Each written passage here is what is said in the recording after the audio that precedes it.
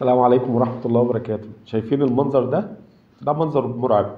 بتشوفوا بعض الأمهات بتبقى مخضوضة جدا جدا وتيجي العيادة الحقني يا دكتور ابني أو بنتي لسه مولود من 3 4 أيام ولاحظت في حاجة غريبة قوي.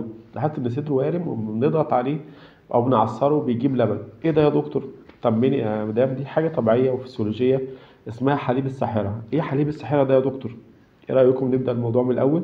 السلام عليكم ورحمة الله وبركاته. معكم الدكتور حسن حفناوي استشاري طب الأطفال وحديث الولادة واستشاري الحميات والأمراض المعدية. المنظر اللي شفناه ده دي حاجة موجودة في 5% من الأطفال إن بيتولد الطفل أو البنت أو الولد آه، آه، صدره وارم ولما الأهل يعصروا عليه أو يضغطوا عليه بينزل لبن. دي حاجة نتيجة زيادة هرمون الإستروجين عند الطفل. هرمون الإستروجين بيكون عند الأم الهرمون ده بيتنقل للطفل عن طريق المشيمة أو ال placenta فالهرمون ده بيعمل شوية حاجات آه، طبيعية كده موجودة في الطفل زي إن بيكبر الصدر أو يورم صدر الطفل أو البنت ولو الأهل ضغطوا عليه بينزل سائل أبيض يشبه اللبن ولكن هو مش لبن. إحنا بنقول للامهات ولكل اولياء الأمور ان دي حاجة طبيعيه وحاجه فسيولوجيه وممنوع منعا باتا تعصير الثدي لأن تعصير الثدي ده ممكن يعمل التهابات تحت الجلد وممكن لا قدر الله يعمل خراج. وبمناسبة زيادة هرمون الأستروجين ده بيعمل برضو عند البنات بقى بالذات أكتر من الولاد بعض الظواهر اللي الأمهات بتقلق منها ولكن هي برضو طبيعية وفسيولوجيه إيه الظواهر دي؟ إن بعض البنات ال- حديث الولادة بتنزل من المهبل إفرازات غزيرة.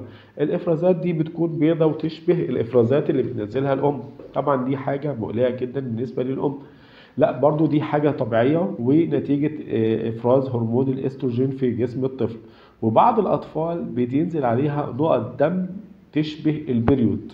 فالأم تلاقي بنت لسه مولودة ونزلت دم كده يشبه آه، دم الدورة الشهرية فتبقى حاجة مقلقة جدا. بنقول للأم برضو ما تقلقيش دي حاجة طبيعية نتيجة إفراز هرمون الإستروجين وإن شاء الله بتروح مع الوقت. أهم حاجة نبقى عارفين الحاجات دي إن لبن الساحرة ده حاجة ظاهرة طبيعية موجودة إن البنت الصغيرة لو نزل عليها إفرازات أو نزل عليها دم يشبه البيريود في أول الأيام من الولادة إن دي حاجة طبيعية وبتروح مع الوقت. وفي بعض الأطفال سواء ولد أو بنت ممكن ينزل مع البول دم. هو مش دم هو سائل آه لونه برتقاني. ده بيكون نتيجة بعض الأملاح الزيادة اللي خدها الطفل أو الطفلة من الأم. بيعمل شوية التهابات وحمرار في البول وتلاقي الأم اللي تلاقي الحفاض كده فيه ما يشبه الدم. ده برضو حاجة طبيعية وبتروح مع الوقت ومفيش منها أي قلق. دمتم بخير والسلام عليكم ورحمة الله وبركاته.